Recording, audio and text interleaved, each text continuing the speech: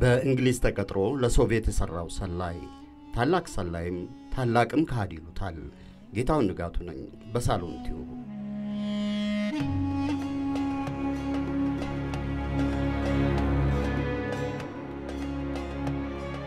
በስለላው ዓለም እጅግ ስሙ የገነነ ነው።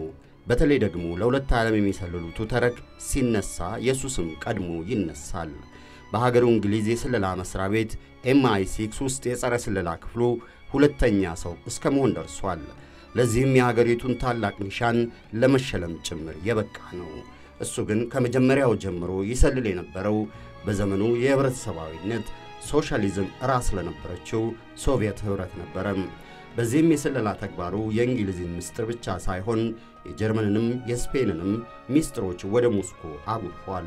በስፔን የዘመኑ አምባገነን የነበሩትን ጀነራል ፍራንኮን ሚስጥር አሳልፎ መስጠቱ ብቻ አልነበረም የሚገርመው የቅርብ ሰው ነበረ። በዘመኑ የሽፋን እንጀራው ባደረገው ጋዜጠኛነቱ ለሞስኮ ሹሞች አልተመቹም ነበሩና ያስወግዳቸው ዘንድም ታዞ ነበረ። ይህን ያላወቁት ጀነራል ፍራንኮ ግን የሀገሪቱን ታላቅ ሜዳሊያ ጭምር አጥልቀውለታል። የሶሻሊዝም አገዛዝን በአልባንያ ለመጣል ይታገሉ የነበሩ አማጽያንን መረጃ እግር በእግር እየተከታተለ በመላክ እንዲያልቁ አድርጓል። የአሜሪካ ሚስጥርም አልቀረውም ወደ ሞስኮ ሲያግዝ ለሶቪየት ኅብረት መሰለላቸው የተደረሰባቸው እንግሊዛውያን ወዳጆቹን መረጃውን ቀድሞ አውጥቶ ወደ ሞስኮ ያመልጡ ዘንድ ያደረገ ነው። የእንግሊዝ ሰዎች በከዱ ጊዜ የሞስኮ ሰላዮች ከውስጣቸው መረጃ የሚያቀብል እንዳለ ቢያውቁም እሱ ይሆናል ብለው አልጠረጠሩም። የተወሰኑ ሰዎች ቢጠረጥሩም ተጨባጭ ማስረጃ አልነበራቸውምና ጫፉን ሊነኩት አልተቻላቸውም። እሱ ግን ከግማሽ ክፍለ ዘመን በላይ የሶቪየቶች ቀንደኛ የመረጃ ምንጫቸው ነበረ። ሶቪየቶችም እሱን ከአደጋ ለመጠበቅ የሚያስወግዱት ሰላይ ይበዛ ነበረም። ከድቶ ወደ ሞስኮ ሲያቀና በእንግሊዞች ዘንድ ታላቅ ድንጋጤ ቢፈጥርም ሶቪየቶች ግን በነበራቸው ታላላቅ ሜዳሊያዎች ነበር ያንቆጠቆጡት። ግማሾቹ ታላቅ ሰላይ ሲሉት፣ ሌሎቹ ደግሞ ታላቁ ከሃዲ ይሉታል። ኪም ፊልቢ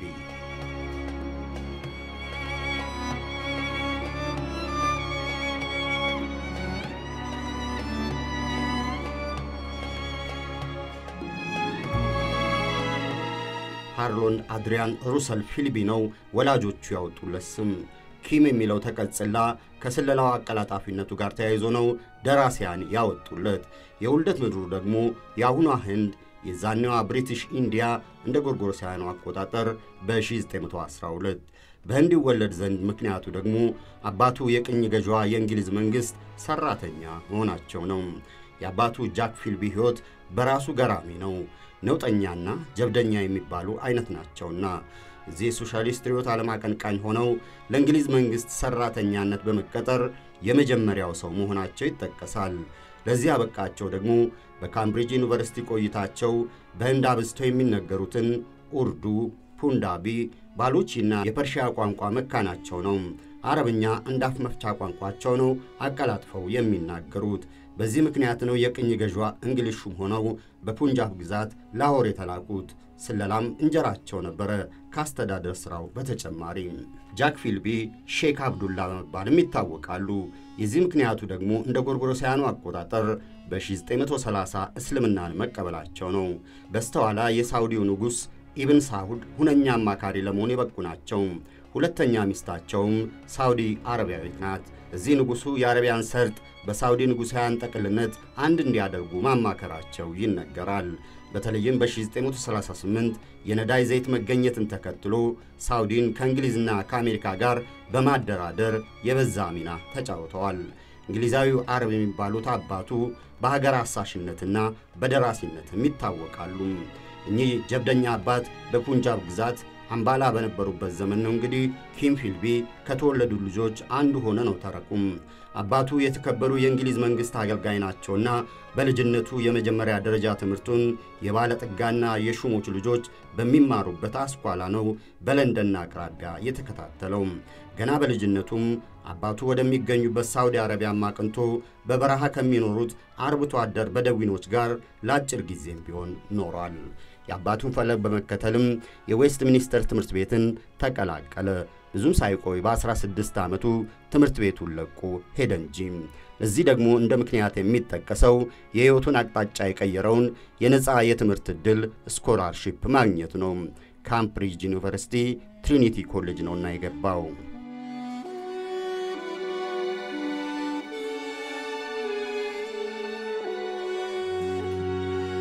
የኪም ፊልቢ የካምብሪጅ ስላሴ ትሪኒቲ ኮሌጅ ቆይታው በስተኋላ በስለላው ዓለም ለከወነው ሁሉ መነሻ እንደሆነ የታሪኩ ከታቢዎች ይስማሙበታል። እሱ በዩኒቨርሲቲው ቆይታው ታሪክና ምጣኔ ሀብትን፣ ኢኮኖሚክስን ነበር የሚያጠናው። በምጣኔ ሀብትን በመጀመሪያ ዲግሪ ሲመረቅ ከማለፊያ ነጥብ ብዙም ያልራቀ ነበር ውጤቱ። ይሁንና የዩኒቨርሲቲ ቆይታ ሁነት ቀያሪ እንዲሰኝ ያደረገው የኮሚኒዝምን ርዕዮተ ዓለምን የተቀበለበት መሆኑ ነው። የህብረተሰባዊነት ሶሻሊዝም ርዕዮተ ዓለም ተከታይ የሆኑት አባቱ ጃክ ፊልቢ እሱ ወደ ኮሚኒዝም ርዕዮተ ዓለም ማዘንበሉ እርግጥ ነበር ሲሉ በስተኋላ ተናግረዋል። ጥያቄው ግን ይህን ርዕዮተ ዓለም መከተሉ ለሚያገለግለው መንግሥት ታማኝ እንዳይሆን በስተኋላ አድርጎታል የሚለው ነው ይላሉ። ለዚህ ሁሉ ገፊ ምክንያት ደግሞ በአውሮፓ የፋብሪካ ሠራተኞች ላይ የሚደርሰው ግፍና የመከራ መብዛቱ እንደሆነ የቀድሞው የእንግሊዝ ሰላይና የታሪክ አጥኚ ሮበርት ሲስሊ ይናገራሉ። በአውሮፓ እንደ ጀርመን ናዚ አይነት አምባገነን መሪዎች የሚያደርሱት ግፍ መብዛቱም እንዲሁም የበዙ የካምብሪጅ ዩኒቨርሲቲ ተማሪዎችም ከዚህ መከራና ግፍ መገላገያው የኮሚኒዝም ርዕዮተ ዓለም ነው በማለት መቀበላቸውንም ይናገራሉ። ኪም ፊልቢም እንዲሁም signed on with the NKVD, as it was then called. እንደምገምተው ፊልቢ NKVD ለሚባለው ቡድን አባልነት የፈረመው ማርክሲዝም የመጪው ዘመን መንገድ ነው፣ ካፒታሊዝም ደግሞ ያበቃለት ስርዓት ነው ብሎ ባመነበት ዘመን ነው።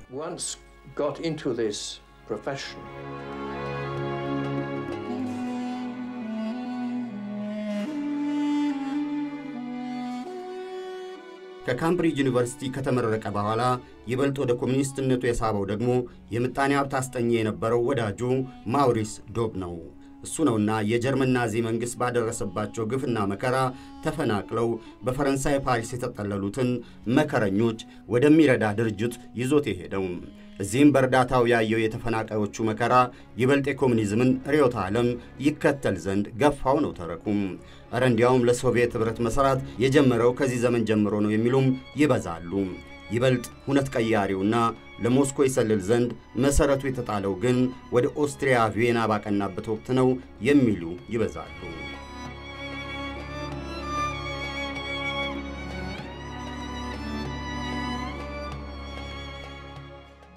ኪም ፊልቢ የእርዳታ ለጋሽ ድርጅትን ለማገዝ ነበረ ወደ ኦስትሪያ ቪየና ያቀናው። እዛም በደረሰ ጊዜ በዘመኑ ኦስትሪያ ይገዛ የነበረው የፋሽስት መንግሥት በሀገሬው ሰዎች ላይ የሚያደርሰው የመከራ ሰቆቃ ገና ሲጀመር ጀምሮ ለማየት በቃም። ሰዎች በጎዳና ጭምር ተገድለው መጣል፣ ወደ ግዞት ካምፓቸው በግፍ መጋዝ፣ ቪየና ከተማ ጭምር በከባድ መሳሪያ መደብደብን ማየት የወጣቱን ኪም ፊልቢ አእምሮ የርዕዮተ ዓለም ለውጥ ገፊ ምክንያት ነው ይሉናል ታሪኩን ያጠኑትና የብዙ መጻሕፍትንም የደረሱት ፊሊፕ ናይትሊ።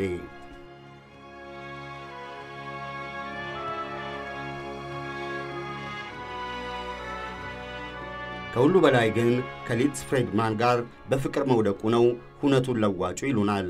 ሊትስ ትውልዷ ከሃንጋሪ አይሁዳውያን ቤተሰብ ስትሆን የኦስትሪያ ኮሚኒስት ፓርቲን ተቀላቅላ የጀርመን ናዚ መንግሥትን ያፈናቀላቸውን ስደተኞች የምትደግፍ ነበረች።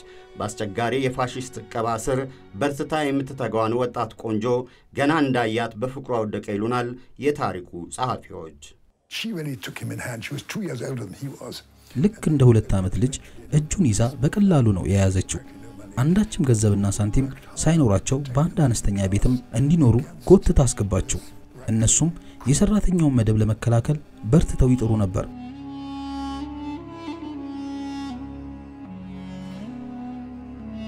ፊልቢም የፖለቲካ ቁርጠኛ አቋሟና ግልጽነቷ እንደማረከው በስተኋላ ተናግሯል። እናም ከእንግሊዝ የከበርቴ ቤተሰብ አኗኗር አይቶ ወደማያውቀው የምንዱባን ሕይወት የእሷን ፍቅር ተከትሎ ገባ ነው ተረኩም።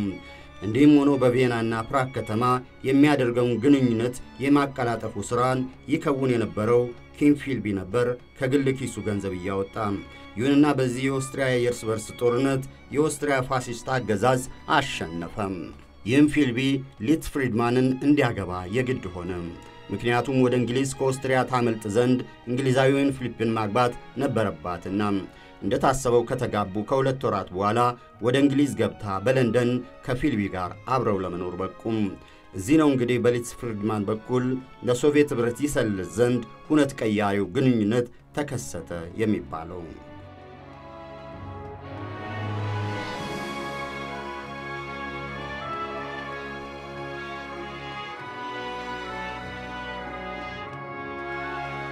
የሶቪየት ኅብረት የስለላ መሥሪያ ቤት ኬጂቢ እንደ ጎርጎሮሳውያኑ አቆጣጠር በ1930ዎቹ መጀመሪያ ነው ከካምብሪጅ ዩኒቨርሲቲ የወደፊት ሰላዮችን የመመልመል ወጥመዱን የጀመረው የሚሉ የታሪክ አጥኚዎች ይበዛሉ። ኪም ፊልቢን ጨምሮ አምስቱ የካምብሪጅ ሰላዮች የሚባሉት የተጠመዱት በዚህ ዘመን እንደሆነም በማጣቀስ እዚህ ደግሞ ስሙ አብዝቶ የሚነሳው አርኖልድ ዶች ነው። የት አገር ሰው እንደሆነ ማንም እርግጡን ስለማያውቅ ከኦስትሪያ ከቼክ ወይም ከሃንጋሪ ነው በሚል የታሪኩ ጸሐፍት ጭምር የሚወዛገቡበት የሶቪየት ኅብረት ሰላይ ነው። ወደ ለንደን ዩኒቨርሲቲ ኮሌጅ ለምርምር ሽፋን ሥራ ቢመጣም ሁነኛው ሥራ ግን በትምህርታቸው የላቁና ብሩህ አእምሮ ያላቸውን የዩኒቨርሲቲ ተማሪዎችን ለሶቪየት ሰላይነት መመልመል ነበረ። በዚህም ተሳክቶለት በስተኋላ የእንግሊዝ የምዕራባውያን ምስጢር የሸጡ አምስቱ የካምብሪጅ ሰላዮች የሚባሉትን መልምሏል ነው ተረኩ ኪም ፊልቢን ጨምሮ። ይሁንና ኪም ፊልቢ በቀጥታ ከሶቪየት ኅብረት የስለላ መሥሪያ ቤት ጋር የመጀመሪያውን ግንኙነት በአካል ያደረገው በፍቅረኛውና በሚስቱ ሊትስ ፍሬድማን በተቀነባበረ ቀጠሮ ነው የሚሉ በእርግጠኛነት ይበዛሉ። የሕይወት አቅጣጫ ቀያሪው ቀጠሮ የተደረገው ደግሞ የአውስትራሊያና የእንግሊዝ ዝርያ ካላት የፎቶግራፍ ባለሙያ ኢዲዝ ቱዶር ሃርት ጋር ነው። እሷ በለንደን መቀመጫውን ካደረገ ሰላይ ጋር በሪጀንስ ፓርክ ይገናኙ ዘንድ አመቻቸች፣ በቅጽል ስሙ ኦቶ ተብሎ በሚታወቀው። ይህም የኬጂቢ ሰው ኪም ፊልቢ ቀደም ሲል የኮሚኒስት ፓርቲውን ለመቀላቀል የደረሰበትን ውሳኔ እንዳታደርገው በሚል የሕይወት አቅጣጫ ቀያሪ ምክር ለገሰው ይሉናል ፊሊፕ ናይትሊ። ለራሴ ሽፋን ታሪክ በመፍጠር የእንግሊዝ መንግሥትን መዋቅር ሰርገህ ለመግባት ሞክር ሲልም እንደመከረው ይናገራሉ።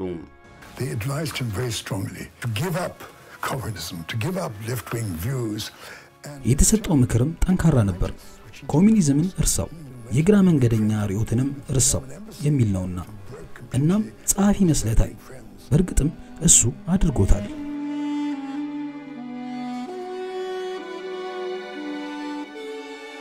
ከሊትስ ፍሪድማን ጋር የነበረውን ታላቅ ፍቅርም ለአዲሱ እንጀራው ለመሰዋት ተገደደ። እናም እንለያያላት ተለያዩም። ግን እስከ ሁለተኛው የዓለም ጦርነት ማብቂያ እንደ ጎርጎሮሲያኑ አቆጣጠር 1946 ድረስ አልፈታትም ነበረም። በዚህ መሃል እሷ በፈረንሳይ እያለች ከጀርመኖች አመልጣ ወደ እንግሊዝ እንድትገባ ጭምር ረድቷታል። በዚህ ዘመን ነው እንግዲህ ከእንግሊዛውያን የተከበረ ቤተሰብ የምትወለደውን ኤሊያን ፈርስን አግብቶ ሦስት ልጆችን እንደወለደ የሚነገርለት።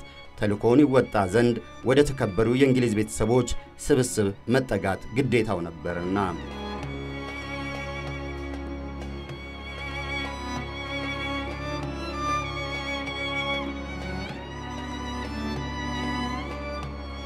በለንደን ነው ጋዜጠኝነትን እንጀራው አድርጎ የጀመረው። በወርሃዊው ወርልድ ሪቪው ጋዜጣ የበዙ መጣጥፎችን አስነብቧል። በራሱም በብዕር ስምም እረ እንዲያውም ተጠባባቂ አርታኢም እስከ መሆን ደርሷል። በዚሁ የጋዜጠኝነት እንጀራው ለከሰረውና የእንግሊዝንና የጀርመንን የንግድ ግንኙነት በሚዘግበው ጋዜጣ ላይም ሰርቷል። እዚህ ከጀርመን ባለጠጎችና ሹሞች ጋር የጠበቀ ግንኙነት መፍጠሩም ይነገራል። እረ እንዲያውም እየተሰባሰቡ የሚመካከሩበትን ቡድን አባል እስከ መሆን ደርሷል። ከጋዜጠኝነት እንጀራው ወደ ስለላ ጎትቶ አስገብቶታል የሚባለው ግን የስፔን ስምሪቱ ነው። እንደ ጎርጎሮሳውያኑ አቆጣጠር በወርሃ የካቲት 1937 ኪም ወደ ሴቪሊ ስፔን ያቀናው ለታይም ጋዜጣ ዘጋቢ ሆኖ ነበረም። እዛ በደረሰ ጊዜ ግን ስፔን በታላቅ የእርስ በርስ ጦርነት ውስጥ ነበረች። ለዚህ ምክንያቱ ደግሞ በዲሞክራሲያዊ መንገድ ተመርጠው ሥልጣን ላይ የነበሩትን ፕሬዝደንት ማኑኤል ኦዜናን የፋሽስት ኃይል የሚመሩት የነበሩት ጀነራል ፍራንሲስኮ ፍራንኮ በመፈንቅለ መንግሥት ፈንግለው ከሥልጣን መንበሩ ላይ መፈናጠጣቸው ነበረም። ኪም ራሱ የስፔን የጋዜጠኝነት ቆይታው እጅግ ፈታኝ እንደነበረ ተናግሯል። I tried to provide only the raw facts, but it was one of the most difficult periods of my life. በእርግጥ እውነታ ላይ የተመሰረቱ መረጃዎችን ለመስጠት ሞክሬያለሁ። ይሁንና በሕይወቴ ውስጥ ካጋጠሙኝ አስቸጋሪ ጊዜያቶች አንዱ ነበር። የሞቱ ጓዶችንም አይቻለሁ።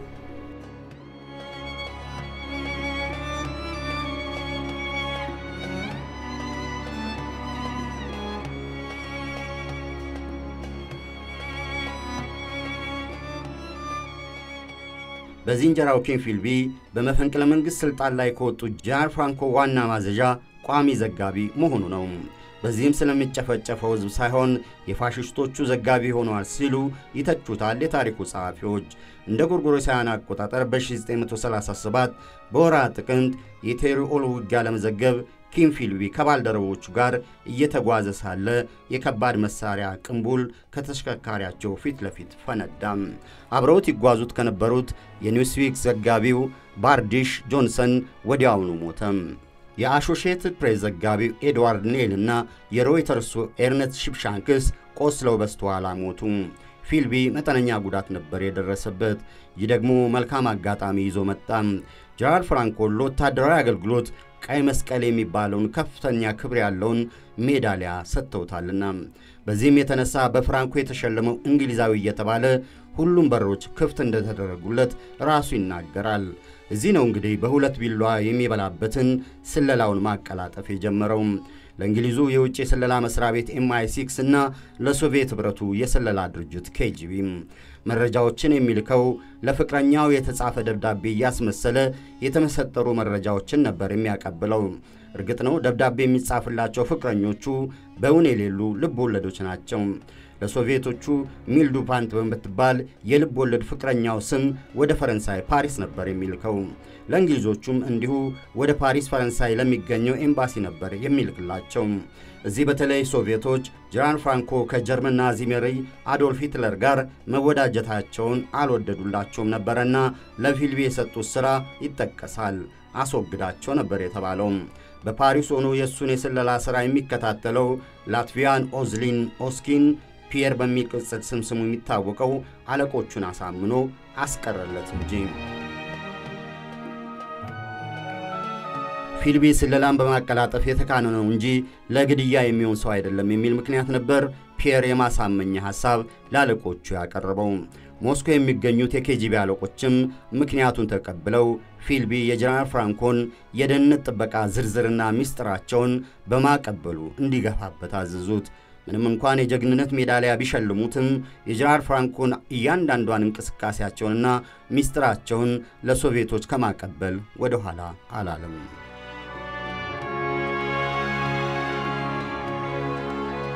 ከስፔን መልስ በእንግሊዝ ለንደንና በጀርመን ለአጭር ጊዜም ቢሆን ለታይምስ መጽሔት በጋዜጠኝነቱ ሰርቷል።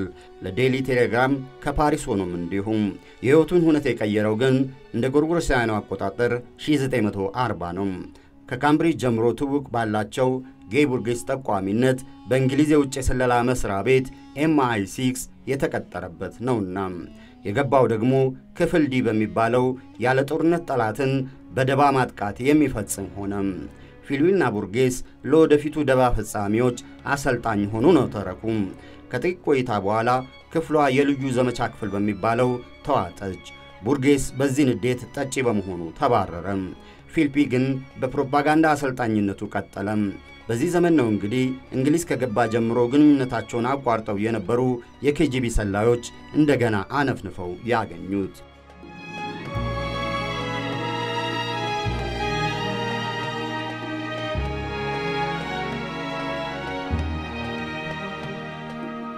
በለንደን መቀመጫውን ያደረገውና በስለላ ስሙ ቫዴም የሚባለው አይቫን ቺቻዬቭ ካገኘው በኋላ በቀጥታ የጠየቀው ወደ ሶቪየት ኅብረት ሰርገው የሚገቡ ሰላዮች ዝርዝርን ነበረ። ፊልቢ ወደዛ የሚላክ ሰላይ የለም ብሎ መመለሱ በቫዴምም ሆነ በሞስኮ ባሉት የኬጂቢ ሹሞች የሚታመን አልሆነም። በዚህም የተነሳ ዘመቻ ባርባሮሳ በሚባለው ሂትለር ሩሲያን ሊወር ነው እንዲሁም ጃፓን ሩሲያን ሳይሆን ወደ ሩቅ ምስራቅ ነው የምትዘምተው በሚል ያደረሳቸውን መረጃ ሊያምኑ አልተቻላቸውም። ዘግይቶም ቢሆን በሌላ በጃፓን በነበረ ሰላይ መረጃው ሲጠናከር የሶቪየት መሪው ስታሊን ከሩቅ ምስራቅ ግንባር ወታደሮቹን በማጓጓዝ በመዲናዋ ሞስኮ ሊያሰፍር በቅቷል። ፊልቢ በስለላ መስሪያ ቤቱ ከፍ ከፍ እያለ ሄደም። በጸረ ስለላ ድርጅቱ የስፔንና የፖርቹጋልን ጉዳይ የሚከታተለው ክፍል የበላይ እስከ መሆን ደረሰም። እዚህ በተለይ በስፔን የናዚ ጀርመን መንግሥት በጂብራልተር በኩል አቅዶት የነበረው ዘመቻ ቦደንን ውጤታማ እንዳይሆን በሰርጎ ገቦች ማደናቀፉ ይነገራል። እናም ሰሜን አፍሪካና ኢጣሊያንን ይከታተል ዘንድ ተጨመረለት። እንዲያውም የክፍሉ ምክትል ለመሆን በቃም። የሚገርመው ኤምአይ ሲክስ ሶቪየት ኅብረትን ለእንግሊዝ አደጋ ናትና የጸረ ኮሚኒስት ክፍል የሚባለው ቡድን ዘጠኝን ስታቋቁም ፊልቢ የክፍሉ ምክትል መሆኑ ነው። እንዲያውም የኬጂቢ ሰዎች የክፍሉን የበላይ አለቃውን ሻለቃ ፊሊክስ ኮግሊን ፈንግለህ ዋና ሁን ቢሉትም እሱ ግን አሻፈረኝ አላቸው እንጂ ከእነሱ ጋር በመስራቱ ግን መግፋቱ ይገርማል ይላሉ የታሪኩ ጸሐፊዎች።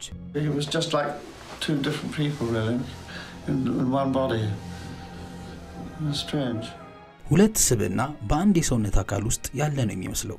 የፊሊፒ ነገር ያልተለመደ ነው፣ እንግዳ ነገር።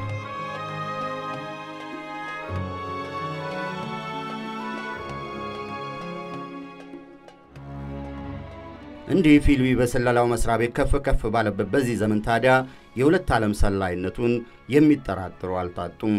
እዚህ ቀድሞ የሚጠቀሰው በቤልጅየም ኖርዌይና ስዊድን ስለላን የሚያቀላጥፈው መኮንኑ ቻርልስ አርሎንድ ባከር ነው። እሱ ባገኘው መረጃ መሠረት ፊልቢ ለሶቪየቶች የሚሠራ ነው ብሎ ጥርጣሬውን ደጋግሞ ቢያሰማም በተደጋጋሚም የሚሰማው ጠፋ እንጂ።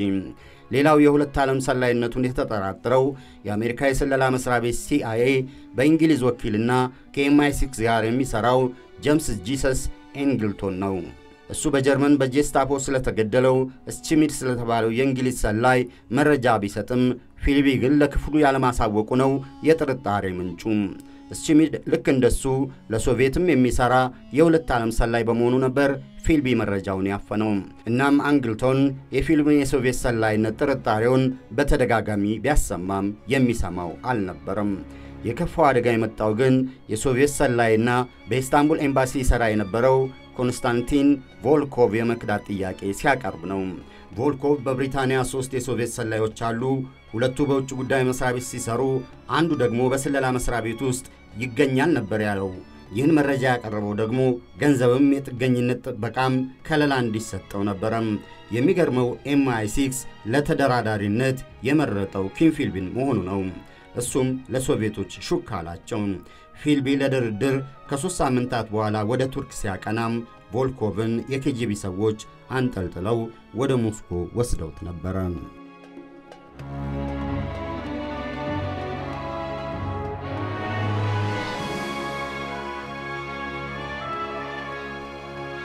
እንደ ጎርጎሮሳውያኑ አቆጣጠር በ1947 ኪም ፊልቢ በቱርክ የእንግሊዝ የስለላ መስሪያ ቤት የበላይ ሆኖ በተሾመበት ጊዜ የበዙ ተዋጊዎችን ለሶቪየት ኅብረት የገበረበት ሊሆን በቃም።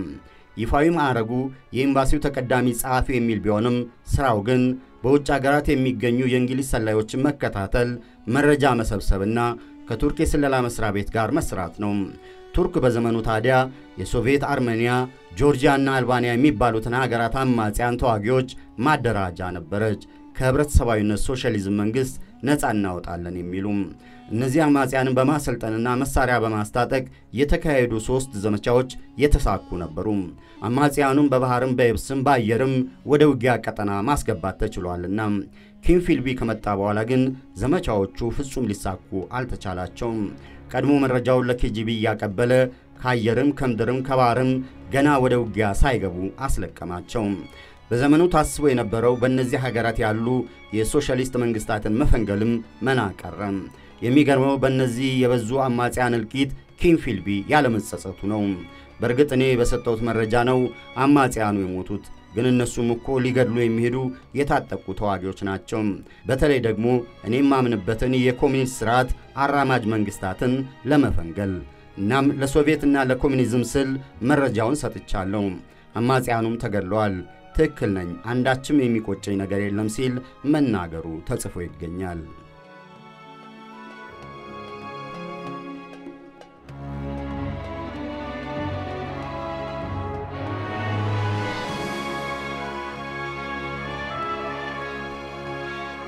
ኪም ፊልቢ እንደ ጎርጎሮሳውያኑ አቆጣጠር በ1949 ወርሃ መስከረም የእንግሊዝ የስለላ ድርጅት ኤምአይ ሲክስ የበላይ ሆኖ በዋሽንግተን መመደቡ ታሪኩን ቀያሪ ሁነት ነው ይላሉ የታሪኩ ጸሐፊዎች።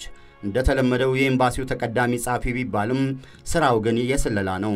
እንዲያውም በሲአይኤ እና በኤምአይ ሲክስ አገናኝ ሆኖ አሜሪካ የምታጋራቸውን ጥብቅ ሚስጥሮች ወደ ለንደን የሚያቀብል የሚገርመው በእንግሊዝ ቆይታው በሶቪየት ኅብረት ሰላይነቱ ሲጠረጥረው ሰሚ ያጣው ጀምስ ጂሰስ አንጌልቶን በዚህ ዘመን የሲአይኤ የበላይ ሆኖ መገናኘታቸው ነው። አንጌልቶን ባላምነውም በመረጃ ልውውጡ የልማድ አሰራር መሠረት በየሳምንቱ እየተገናኘን ምሳ እንበላ ነበር ብሎ መናገሩ እዚህ ይጠቀሳል። እናም የእንግሊዝን ብቻ ሳይሆን የአሜሪካንን ሚስጥሮች ለሶቪየት ኅብረቶች ማጉረፉን ተጋበት። የእሱን የሰላይነት ወኪልነት በቀጥታ የሚከታተለውና ቫዴም በሚል ቅጽል ስሙ የሚታወቀው ኪንፊልቢ ሲአይኤን በማቋቋም ጭምር ተሳትፏል ይለናል። Надо прямо сказать, что Филби удалось установить очень близкие ፊሊፒ ከአሜሪካ የስለላ አገልግሎት ሰራተኞች ጋር በጣም ጥሩ ወዳጅነት መመስረቱ መታመን አለበት። እናም በእሱ ላይ ታላቅ ተጽዕኖ ነበረው። ሲአይኤን በመመስረቱ በኩል በተወሰነ ደረጃ አግዟቸዋል። Он помог создать им ЦРУ. И я даже скажу, что в определенной степени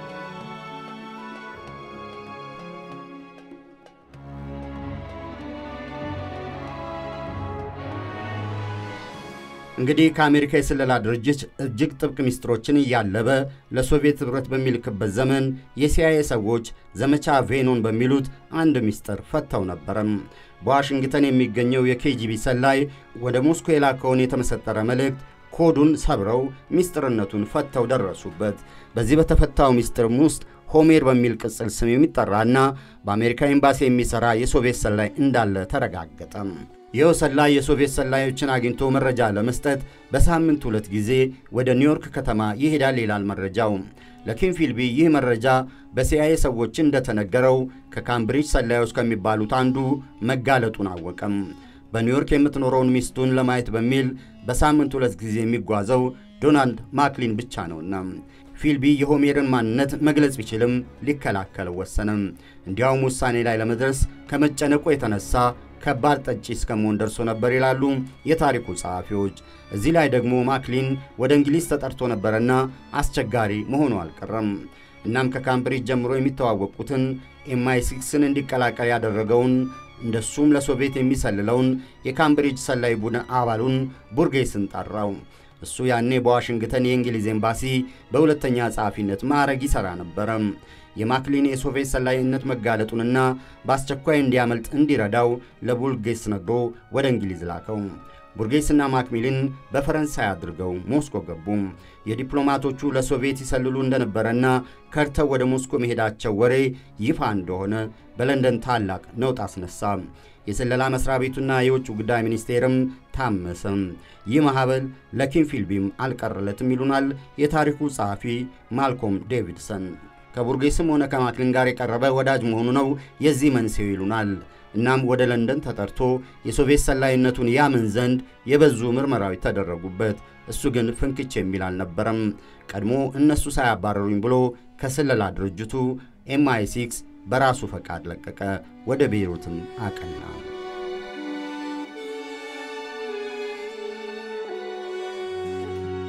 ኪም ፊልቢ የሁለት ዓለም ሰላይነቱ በመጠርጠሩ የእንግሊዝ የስለላ ድርጅት ሥራውን ብቻ ሳይሆን የሶቪየት የስለላ ድርጅት ኬጂቢም ከእሱ ጋር የነበረውን ማንኛውንም ግንኙነት አቋረጠም።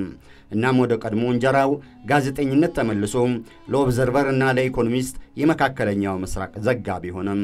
ከቤይሩት ወጣ ብሎ በሚገኘው ትልቁ የአባቱ ውዳድ መኖሪያውን ቢያደርግም የጋዜጠኝነት ሥራውን ለመከወንና ከሰዎች ጋር ግንኙነቱን ለመፍጠር በከተማው መሃልም መኖሪያውን መከራየቱ አልቀረም። የሚገርመው በጋዜጠኝነቱ በመግፋቱ ኤምአይ ሲክስ እንደገና ለስለላው መጥራቱ ነው። ሌላው ደግሞ የኒውዮርክ ታይምስ ጋዜጠኛ ሳም ፖፕ ብሪወር ሚስት ከሆነችው ኤልኖር ጋር የፍቅር ግንኙነት መጀመሩ ነው። በአእምሮ ሕመም የሚሰቃዩ የነበሩት ሚስቱ ኤሌን በሞቱ ጊዜ አምስተኛ ሚስቱ አድርጎ አገባት። የኤምአይ ሲክስ ሰዎች መልሰው ቢቀጥሩትም ለሶቪየት መስራቱን ጥርጣሬ አልተዉትምና ይናዘዝ ዘንድ ሰው መላካቸው አልቀረም። Под ним, как говорят, опять загорелась земля. Ему англичане предлагают э, сделать признание о работе на советскую разведку и обещают ему, что английские власти простят тебя за это. ጊዜው እጅግ የፈጠነባቸው እንግሊዛውያኑ እንዲናዘዝ ጠየቁት። ለሶቪየት ኅብረት ይሠራ እንደነበር ይህን ከተናዘዘ እንደሚምሩት ቃል ገቡለት። የቀድሞ የኤምአይ ፋይቭ ሰላይም በተለየ ሁኔታ ከለንደን ወደ ቤይሩት መጣ። ኤሊዮት ይባላል። ኤሊዮት የተመረጠበት ምክንያት ደግሞ የፊሊፒ ወዳጅ በመሆኑ ነው።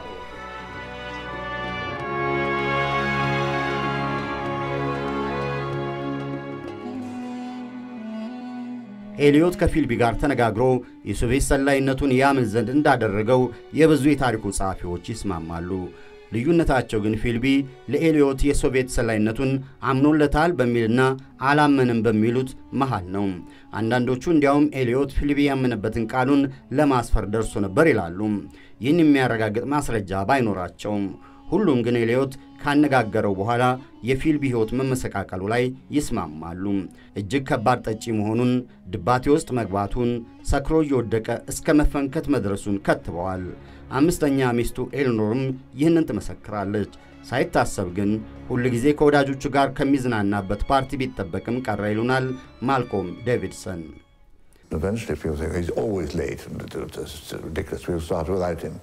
እሱ እንደተለመደው የዘገየ ነበር የመሰለን። እናም እሱ በሌለበት ግብዣውን ጀመርን። ድርሽም ሳይል ቀረ።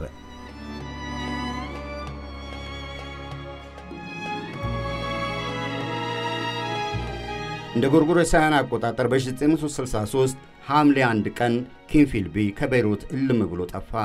በኤዲሴ ወደብ ተጠብቀው በነበረችው ዶልማቶቫ ጀልባ ተሳፍሮ ነው የጠፋው የሚሉ አሉ።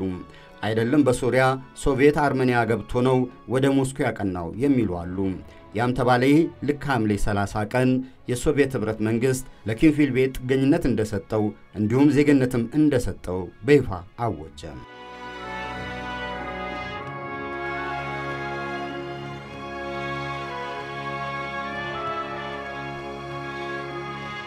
ኪም ፊልቢ በሶቪየት ኅብረት የጠበቀውን አልነበረም ያገኘው። የሚገርመው እሱ የኮሎኔልነት ማዕረግ እንደተሰጠው ነበር የሚገምተው። አልሆነም እንጂ በወር 500 ሩብል የሚከፈለው ሰው ለመሆን በቃ እንጂ። በዘመኑ መካከለኛ የሶቪየት ኅብረት ዜጋ ገቢው 80 ሩብል በወር በመሆኑ የተቀናጣ ኑሮ ያስኖረዋል የሚሉ አሉ። ሌላው የሕዝቡን ጉስቁልና ማየቱ ነው ያልተጠበቀው። የምናምንበት ኮሚኒዝም ይህ አይደለም፣ ተግባሪዎቹ ናቸው ያበላሹት ሲልም ይናገር እንደነበረ በሞስኮ የእሱን ጉዳይ ተከታታይ ቫዲም በሚል ቅጽል ስም የሚታወቀው የኬጂቢ ሰላይ ይናገራል። የሚገርመው የቁም እስረኛ ያህል የአስር ዓመት ሕይወቱን መግፋቱ ነው። ስድስተኛ ሚስቱ ሩፊና ኢቫኑ ፑኮቭን ቢያገባም ከቤት መውጣቱ አይፈቀድለትም ነበረም። የሚያገኛቸው ሰዎች ጭምር በኬጂቢ ሰዎች የተፈቀደላቸው ብቻ ነበሩ። ይህ የሆነው የእሱን ደህንነት ለመጠበቅ ነው የሚሉ አሉ። አይደለም ወደ ለንደን ይመለሳል የሚል ፍራቻ የኬጂቢ ሰዎች ስለነበራቸው ነው የሚሉም አልታጡም። በእነዚህ ዓመታት እንግሊዝ ከሃዲ ብላ ዜግነቱን ገፈፈችው፣ የሰጠችውንም የክብር ሜዳሊያ ነጠቀችው። ከአስር ዓመታት የቁም እስር በኋላም በኬጂቢ መስሪያ ቤት የተሰጠው ሥራ እሱን የሚመጠን አልነበርም ይላሉ የታሪኩ ጸሐፊዎች። እናም በእነዚህ ሁሉ ገፊ ምክንያቶች ኪም ፊልቢ አብዝቶ ጠጪ ለመሆን በቃ ነው ተረኩ። ራሱንም ለማጥፋት የሞከረበት ጊዜ እንዳለ ይነገራል። እስከ መጨረሻውም ቢሆን ግን ለሶቪየት ኅብረትና ለኮሚኒዝም በመሰለሉ የማይጸጸት እንዲያውም የሚኮራበት እንደሆነ ይነገራል። ሶቪየት ኅብረትም ታላቁን የሌኒን ኒሻን ጨምሮ ስድስት ሜዳሊያዎችን አንበሽብሻዋለች። እንዲህ ለሶቪየት ኅብረት ለ53 ዓመታት የሰለለው ኪም ፊልቢ እንደ ጎርጎሮሳውያኑ አቆጣጠር በ1988 በሞስኮ በልብ መማረፈም ሶቪየት ኅብረት በታላቅ የጀግና አቀባበር ክብሯን አሳይታ ወደማይቀርበት ዓለም ሸኘችው።